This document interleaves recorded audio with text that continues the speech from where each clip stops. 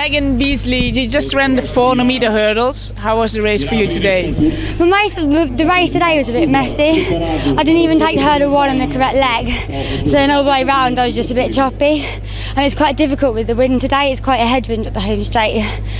But I'm just a bit disappointed with the time, but I think how I ran it is quite good for me, and to only be just over a second off the girls, their PBs are like a second over mine as well, so not too bad. 57.96, but you were also starting from lane one. How do you look at lane one? Yeah, it's, it's, always disappointing when you see that you've got lane one, but I'm not very tall, so it shouldn't make too much of an impact on me.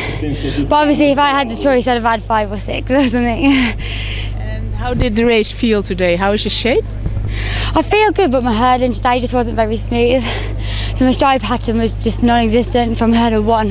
I was just running and hoping for the best, it seemed.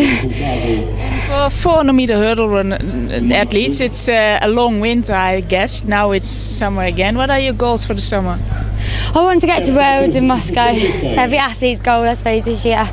Um, I just need to get on my race, put work good in good conditions.